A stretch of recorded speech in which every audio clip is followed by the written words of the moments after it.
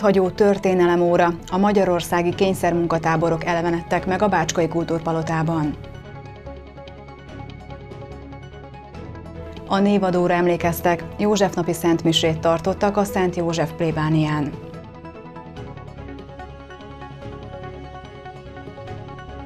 Birtokba vették az új birkózó csarnokot, nemzetközi edzőtábort rendeztek a Vaskúti úti laktanya egykori parancsnok épületében.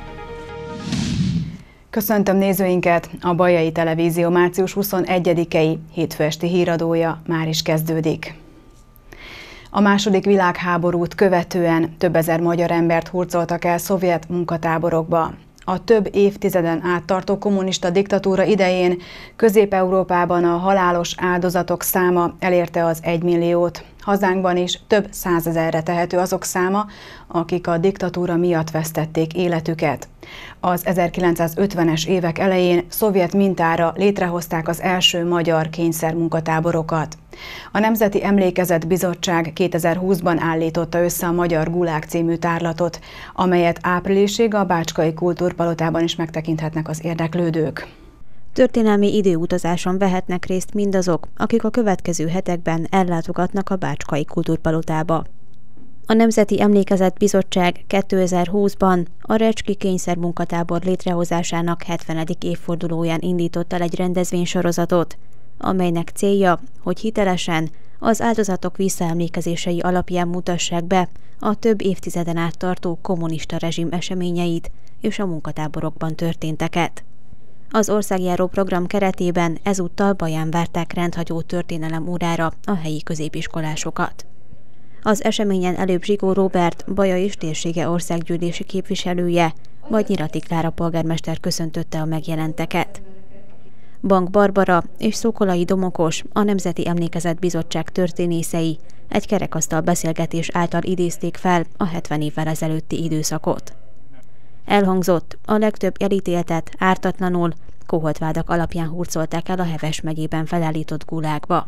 A korabeli képeket vagy házkutatások során lefoglalták, és megsemmisítették, vagy erégették, vagy, vagy egyáltalán tehát kényszermunkatáborról nem csinálnak fotókat, maximum propaganda képeket, tehát ezekhez nem igazán lehetett nyúlni, ezért kellett más oldalról is megközelíteni, de minden esetre nem egy könnyű munka, viszont az, hogy a, a, a következő generációk is megértsék, valami berügzüljön, ha nem is minden, mert hiszen ez egy nagyon-nagyon tömény 12 tabló, és a kiállítás is nagyon tömény.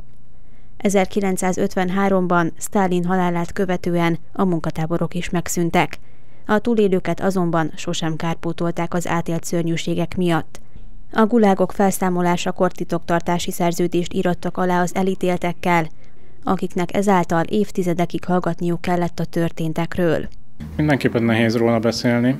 Vannak, akik szívesen uh, nyilatkoznak, és uh, én azt hiszem, hogy megdöbbentő az a, az a derű, vagy, vagy joviális hozzáállás adott esetben sokszor, amivel ők ezeket a nehézségeket, vagy ezeket a szörnyűségeket képesek voltak feldolgozni és legyőzni. Nekik sikerült megszabadulni ebből a pokolból, vagy ennek a, a pszichikai fogságából. A multidézés egy színházi produkcióval folytatódott. Az előadásban a Kossuth Díjas költő és műfordító Paludi György alakja elevenedett meg, Turek Miklós, a Versszínház Társulat színművésze jóvoltából. Faludi György maga is megtapasztalta a kommunista rezsim szörnyűségeit, előbb betiltották műveit, majd az 1950-es években hamis vádak alapján letartóztatták és a Recski munkatáborba hurcolták. Hétfőtől minden Trafipax készüléket bevetnek az egyenruhások. Az Európai Közlekedésrendészeti Szervek hálózata a Roadpol március 21-e és 27-e között Speed elnevezéssel hirdetett fokozott ellenőrzést, amelyhez a magyar rendőrség is csatlakozik. A hatóság Magyarország egész területén fokozott sebességellenőrzést végez, amelynek keretében március 24-én 6 órától 25-én 6 óráig úgynevezett 24 órás speed maraton ellenőrzésre is sor kerül. A korábbi évek tapasztalatai azt mutatják, hogy a rendőrség által a 24 órás speed maraton alatt ellenőrzött járművezetők 95%-a az előírásoknak megfelelően választotta meg haladási sebességét. Az ötletet a német Észak-Rajna-Vesztfália szövetségi állam dolgozta ki. Itt a közösség embereit felkérték, hogy szavazzanak arra a helyre, helyekre, ahol sebesség ellenőrzést szeretnének. Az ellenőrzés ideje alatt március 24-én 6 órától március 25-én 6 óráig ténylegesen 24 órás időtartamban a rendelkezésre álló valamennyi komplex közlekedési ellenőrzési pont használatban lesz. Hétvégén ismét zongora szóval telt meg a Bácskai Kultúrpalota. Pénteken rendezték meg a második zongora mesék hangversenyt Baján. A rendezvényre a világ minden pontjáról érkeztek vendégek. Hamarosan jövünk a részletekkel. József nap alkalmából a névadó tiszteletére tartottak misét vasárnap a róla elnevezett templomban. A prédikációban Szent József munkásságáról és szerénységéről is szó esett. A szertartás végén a háború áldozataiért imádkoztak a hívek. Ünnepi szentmisét tartottak a Szent József templomban vasárnap reggel. Az imaház 1938-ban épült, azzal az érseki feltétellel, hogy még az eukarisztikus kongresszus évében befejezik azt. 1956-ban a Bajai Jeges árnál ez az épület is megszenvedte a betörő vizet, mondta el Csorba Dávid, a templom plébánosa de hála Istennek, hogy az egyházközség tagjai mindig szerető gondossággal óvták és védelmezték a templomot, mindig a szívükön viselték a templomnak a sorsát. Hálát adtunk a mai napon azért, hogy megünnepelhettük Szent József napját, megtartottuk az ő tiszteletére mm, a Szentmisét, és kértük az édesapákra az Isten áldását. A plébános hozzátette, a civilek és más karitatív szervezetek mellett a Magyar Katolikus Karitas is csatlakozott az ukrajnai emberek megsegítéséhez. A Szent József templom közössége is folyamatosan gyűjtötte a pénz és a tárgybeli hozzájárulásokat. Kérünk, teremts békét a különböző népek és nemzetek életében és szívében, a Szent Mise végén pedig egy közös imádsággal emlékeztek meg az elesettekről, és fohászkodtak az érintett területeken élőkért. Az Isten tiszteleten részt vett Zsigó Róbert, a térség országgyűlési képviselője, valamint Nyirati Klára, vagy a polgármestere is. Az, hogy a, a háború ellen egy, egy mise keretében, egy mise végén az adott plébános felszólal és felemeli a hangját, az biztatást jelent a hívő közösség minden egyes tagjának arra vonatkoztatva, hogy ne a, az ellenségeskedést keressük, ne azt nézzük, hogy mi, mi a különbség köztünk, hanem azt, hogy mi a közös. Azt, hogy mindannyian ugyanahoz az emberi fajhoz tartozunk, ugyanannak a azoknak a dolgoknak örülünk, ugyanazért sírunk, ne nézzük a különbséget. A plébánia megújulása jövőben sem áll meg. Április 9-én a templomkertet rendezik, valamint annak környékét teszik szebbé. Erre várják a híveket és a segíteni kívánókat egyaránt. A héten szállítják el az illetékesek a zöld hulladékot. Március 21-e és 25-e között érdemes lesz kitenni az ingatlan elé a biológiailag lebomló, a kertekben, udvarokban és konyhákban keletkező szerves hulladékot. Az FBHNP Nonprofit Kft. ezekben a napokban szállítja el az általuk díjmentesen biztosított lebomló zsákban az így összegyűlt hulladékot. A maximum 70 cm hosszú, 50 cm átmérőjű kötegekben összekötött ágnyesedékeket is elviszik, a zsákok mellé helyezve. Fontos, hogy a begyűjtést végző gépjármű közterületen meg tudja közelíteni a hulladékot, és az is, hogy az kézi erővel is mozgatható legyen. Szükség esetén további zsákok is beszerezhetőek a kijelölt értékesítési helyeken, amennyiben nem elegendő a két darab ingyenesen biztosított lebomló zsák. A szállítás pontos éves rendje, valamint a szelektív hulladékszállítással és lomtalanítással kapcsolatos bővebb információk elérhetőek a KFT honlapján. Elektronikusan módosíthatók a középfokú felvételi jelentkezések március 21-e és 23-a között, közölte az Oktatási Hivatal. A tanulók a felvételi vizsgák eredményei, tapasztalatai alapján egyetlen alkalommal változtathatnak a középfokú felvételi eljárásban eredetileg beadott jelentkezésükön. Módosíthatják a megjelölt tanulmányi területek sorrendjét, illetve újakat is felvehetnek. Újabb tanulmányi terület csak a tanulói adatlapon már szereplő középfokú iskolában, és csak az intézmény erre kijelölt képviselőjével történt előzetes egyeztetés alapján jelölhető meg.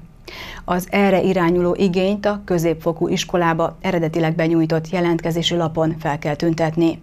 Korábban nem választott iskolába nem lehet jelentkezni, és tanulmányi terület sem törölhető, tájékoztatott a hivatal. Az online megmérettetésből továbbjutók léphettek élőben is színpadra a második nemzetközi zongoramesék versenyen. A hangversenyen 17 magyar és külföldi tehetség lépett fel hat korcsoportban. A péntek este tartott rendezvénynek a Bácskai Kultúrpalota adott otthont.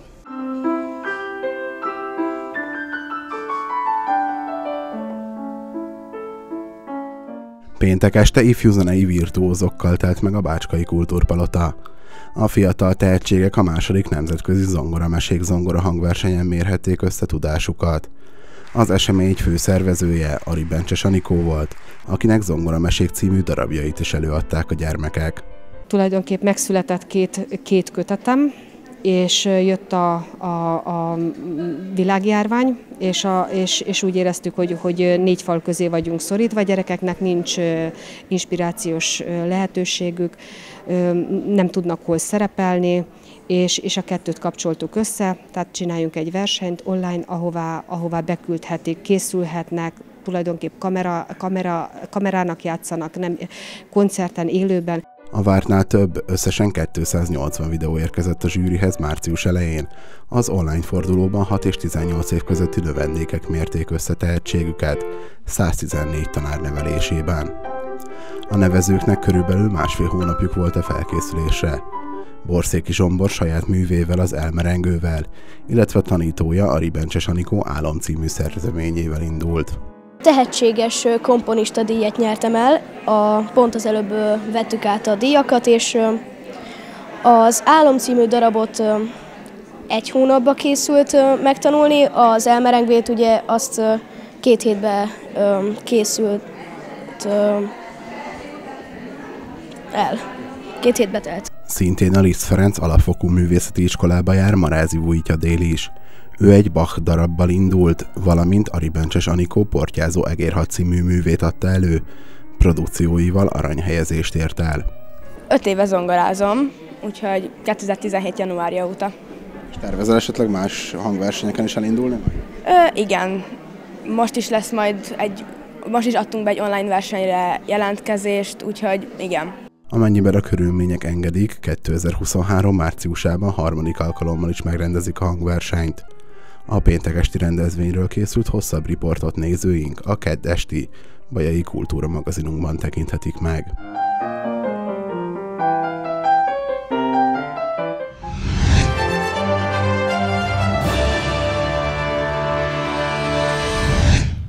A Vaskúti úti laktanya egykori parancsnoki épületéből kialakított sportkomplexum hivatalos átadása ugyan még nem történt meg. A birkózók azonban már fel is avatták egy nemzetközi edzőtáborral. A csarnok minden igényt kielégítette az edzések alatt. Hat ország válogatott birkózóinak edzőtáborát bonyolították le Baján, méghozzá az új birkózó csarnokban. 2021. február elején kezdődött meg Baján a Vaskúti úti laktanya egykori parancsnoki épületének rehabilitációja. A munkálatok során egy csarnokot, büfét és vizes blokkokat alakítottak ki, valamint egy mászófal is helyet kapott az épületben. Ennek hivatalos átadására a héten kerülhet sor a folyamatban lévő eszközbeszerzések miatt, de sikerült megállapodást kötni és az új helyszínt bérbeadni egy nemzetközi edzőtáborhoz. Az egy hétig tartó eseményen Svájc, Lengyelország, Szlovákia, Csehország, Románia és Magyarország 66 legjobb kadett szabadfogású birkózója vett részt. Én nagyon örülök, hogy, hogy itt meg tudtuk szervezni az edzőtábort, mert sokáig úgy nézett ki, hogy helyszín hiányába nem tudjuk megszervezni, de nagyon fontosnak tartom, hogy ezekkel a környező válogatottakkal tartva a kapcsolatot, versenyekre, illetve közös edzőtáborokra tudjunk járni, és ezzel készülni a keleti nagy ellenfeleik ellen. Mivel a sportolók egy verseny után érkeztek Bajára, ezért a városi úszoda szaunájában kezdték a regenerációt. A Petőfi szigeten volt a tábor lakóinak szállása, így a vízparti környezetben még kellemesebben érezték magukat a nemzeti válogatottak, valamint az új sportcsarnok is elégedettséggel töltött el mindenkit. Nagyon-nagyon szép, örvendünk, hogy ilyen szép termet látunk, és meg vagyok nagyon-nagyon elégedve vele. Az edzőtábor során hat edzésen vettek részt a sportolók, amit főként a magyar stáb irányított, miután a nemzetközi szövetségek is elfogadták a heti programot. A felkészülés leginkább szőnyegedzéssel telt, hogy minél több küzdőgyakorlat és birkózás legyen egy nap. Ezzel a válogatott birkózók felkészülési időszaka is színesebbé válik, valamint a nemzetközi partnerekkel való küzdés felkészíti őket a nagyobb megmérettetésekre. Az edzőpartnerek váltogatásával nem csak a különböző technikai, taktikai felkészültséggel kellett szembenézniük, hanem a különböző habitusú sportolókkal is. A nemzetek közti különbségről Gyurics Gergelyt kérdeztük, aki négy éve svájci egyesületeknél, illetve a nemzetközi válogatottnál edző. Nagyon sokat tudnék, itt lennénk estig, ha most ezt fel kéne sorolnom.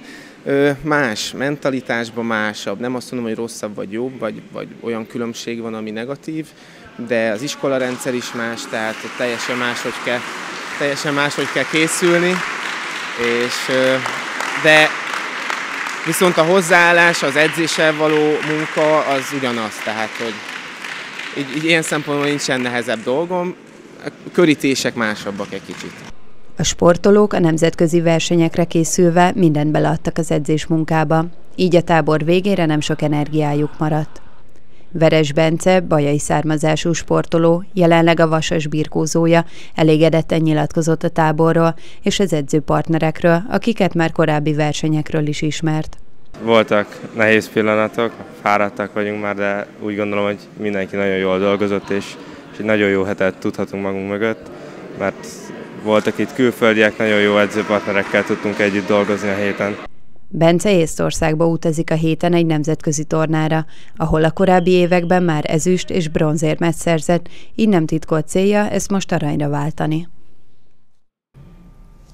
A Mogyi Bajai Judo Klub újabb sikeres hétvégén van túl.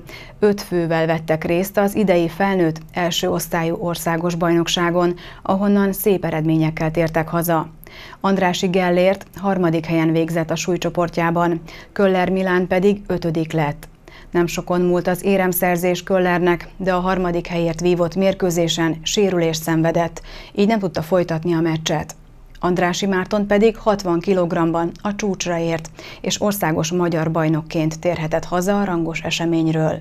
Az éremtáblán végül az ötödik helyen végzett a Bajai Egyesület.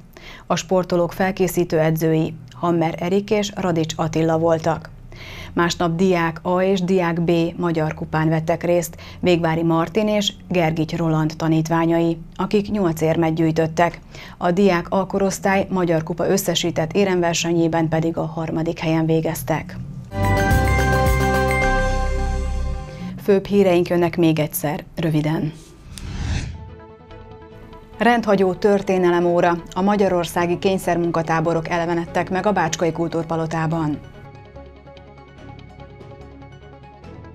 A névadóra emlékeztek, József napi szentmisét tartottak a Szent József plébánián.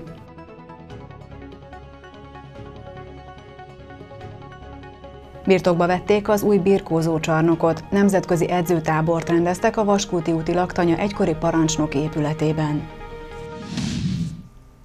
A Bajai Televízió híradóját látták. Friss összeállítással legközelebb holnap este 6 órakor is én várom Önöket. Addig is köszönöm figyelmüket. Szép estét kívánok. Viszontlátásra!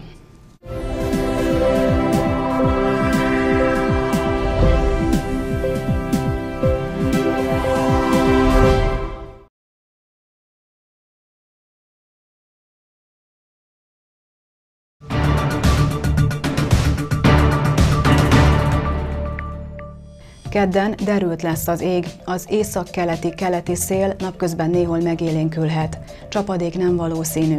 A legalacsonyabb éjszakai hőmérséklet mínusz 10 plusz 2 fok között várható, a legmagasabb nappali hőmérséklet 15 és 20 fok között valószínű.